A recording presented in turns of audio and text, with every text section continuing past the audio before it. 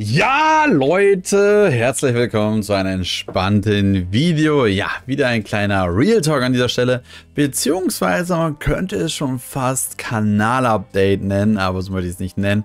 das Ganze möchte ich nicht regelmäßig machen oder ähnliches, sondern das ist jetzt hier eine Ausnahme. Denn was ist eigentlich hier los? Was ist auf diesem Kanal hier eigentlich los? Und das fragt sich bestimmt der eine oder andere. Ich wurde in der Vergangenheit öfter darauf angesprochen, was ist denn mit dir los? Äh, bist du krank oder so? Äh, warum kommen auf einmal äh, so viele Videos, so viele Sachen? Was ist denn da los? Äh, ja, Leute, ihr seht, ähm, ich habe seit längerem jetzt eine Phase, in der ich äh, drei Videos die Woche produziere, plus ähm, vier Shorts, was natürlich eine Menge ist, definitiv. Ähm, und ich muss zugeben, das war so nicht geplant. Also man könnte sich jetzt denken, hä? Wie nicht geplant? Du lädst das auch hoch. Ja, natürlich. Also ich habe es natürlich geplant. Aber ich, es sollte eigentlich erstmal eine Testphase werden. Ich wollte eine kleine Testphase machen von eben äh, einem Monat und dann gucken, wie anstrengend das Ganze ist und natürlich auch, äh, wie es bei euch ankommt, weil das weiß man natürlich nicht. Äh, das weiß man nie, wie es ankommt. Und im Großen und Ganzen bin ich, also was heißt Großen und Ganzen? Das ist, das ist auch so typisch deutsch, ey.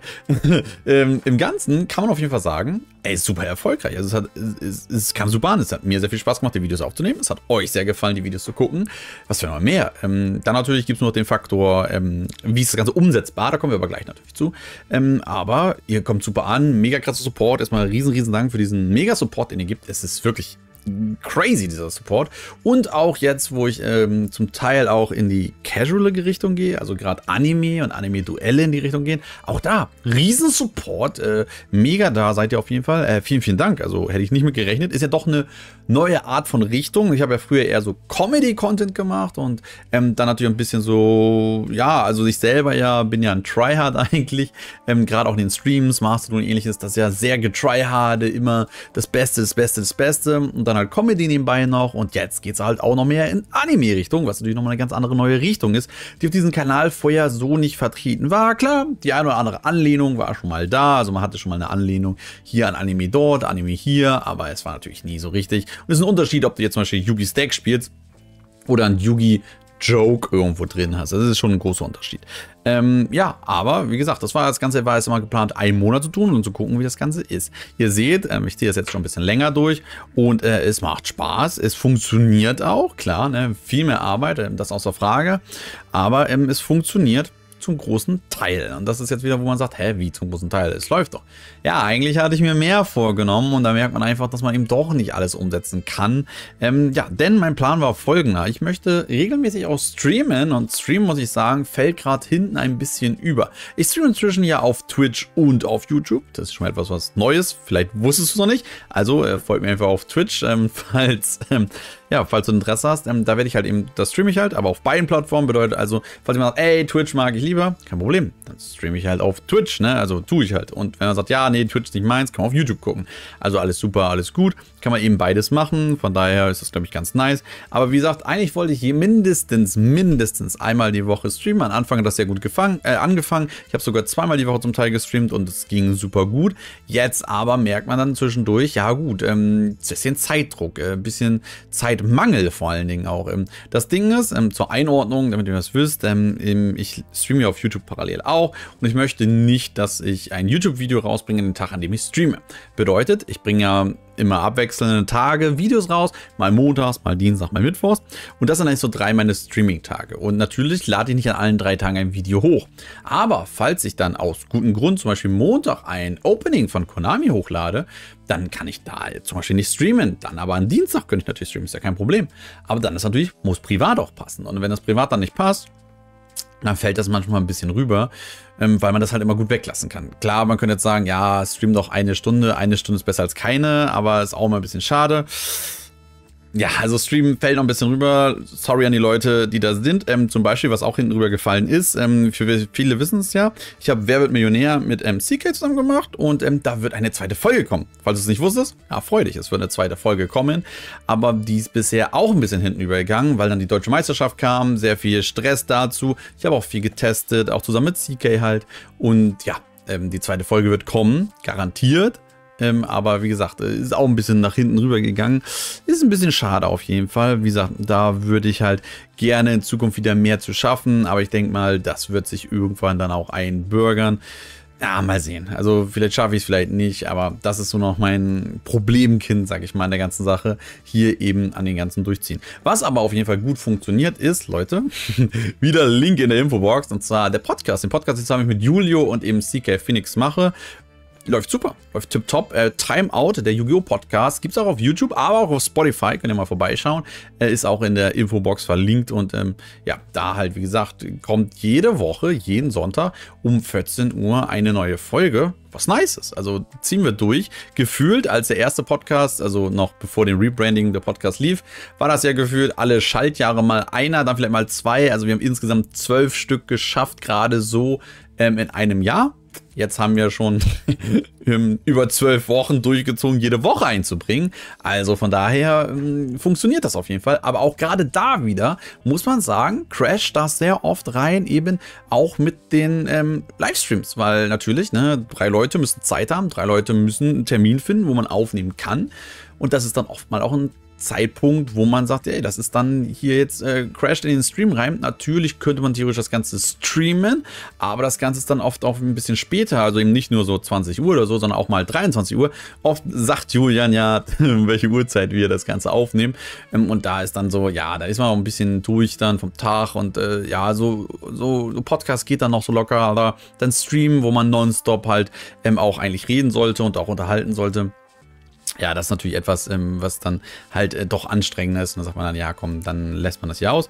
Aber ähm, ich will nichts sagen, aber ich habe immer noch weitere neue Sachen. Also man denkt so, okay, der, hat jetzt seinen Plan gefunden, der geht jetzt seinen Weg. Ähm, Nein, äh, ich bin ehrlich, offen und ehrlich. Das ist ja hier das Ganze, äh, wenn man eben einen Real Talk hier hat.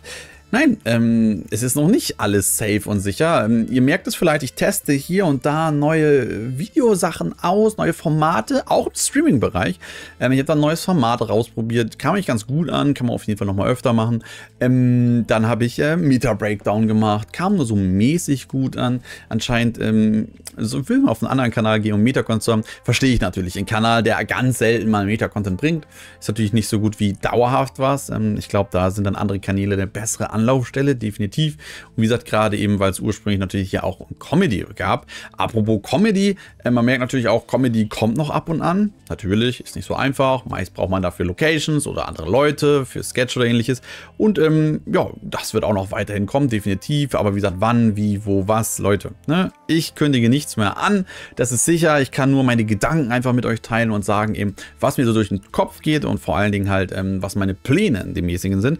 Und ja, genau das. Also ich habe mich ausprobiert, ich habe neue Sachen probiert und ey, Leute, es wird noch mehr kommen. Ich werde immer wieder einzelne Videos probieren, eine besondere Art, ein besonderes Format und ähnliches einfach mal antesten. Und wenn das gut ankommt, warum denn nicht machen? Also wenn euch das gefällt, äh, mir gefällt es auf jeden Fall, weil generell, das müsst ihr wissen, ich lade nur Sachen hoch, die mir gefallen. Also ich habe Spaß um allem, was ich hochlade und von daher, wenn ich etwas nicht Spaß haben sollte, dann kommt es auch nicht online, beziehungsweise wird gar nicht erst gedreht. Also da könnt ihr sicher sein, ähm, der Spaß wird auf jeden Fall da im Vordergrund mitstehen. Weil ich denke auch, wenn man gar keinen Spaß hat und das so runterleiert und gar keinen Bock hat, dann, ja, das merkt man definitiv garantiert. Und dann ist es auch nicht so unterhaltsam, beziehungsweise ist, ist es nicht so cool zum Angucken, denke ich mal. Von daher, ja, das wird auf jeden Fall sein. Aber wie gesagt, ich werde ausprobieren. Ich werde da Sachen ausprobieren. Aber ich will jetzt keine Versprechen sagen oder ähnliches. Ah, ich weiß nicht, wann ich gewisse Formate teste oder probiere. Es muss der Zeitraum passen. Wenn gerade Deutsche Meisterschaft ist oder so, dann macht man natürlich was zur Deutschen Meisterschaft. Aber wenn man, wenn man halt, also, ne, dann verschiebt sich das halt. Ne, zeitlose Sachen kann man ja auch schieben ohne Ende. Das ist ja gar kein Problem.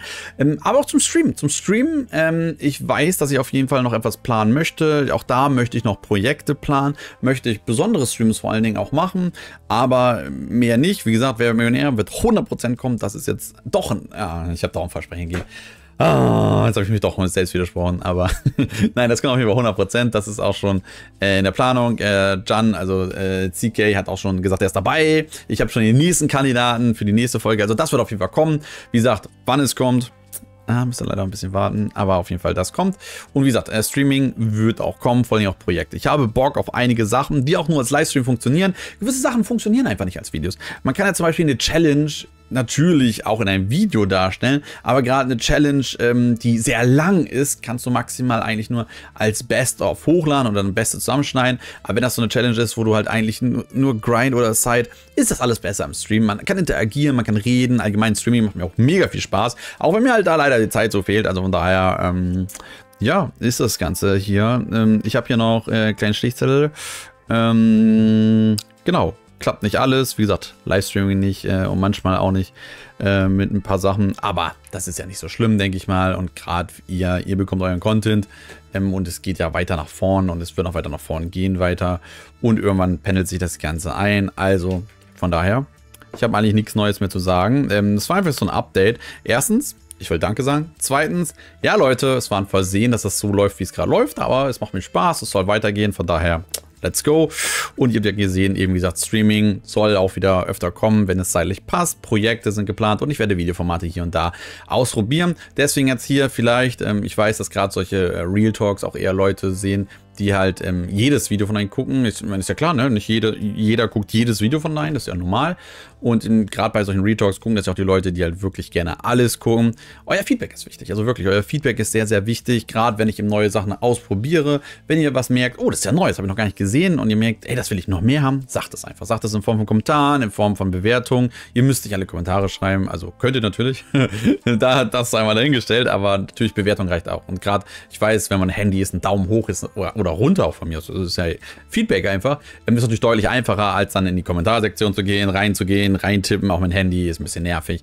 Also das verstehe ich, dass dann halt ein Like und ein Dislike halt deutlich leichter ist. Und das hilft halt eben, dann zu sehen, wie was ankommt und dann natürlich auch draufklicken. Also das ist ja, glaube ich, dann schon, wenn man beim Bewerten ist, schon gegeben. Also von daher ja, ja Leute, ähm, das war hier ein Überblick, äh, einfach mal über die ganze Situation hier. Ich dachte, es gefällt vielleicht euch, vielleicht auch nicht. Auch hier Feedback unten in die Kommentare. Und ich würde sagen, ich wünsche euch jetzt einen wunderschönen Tag und wie immer viel Spaß beim Duellieren.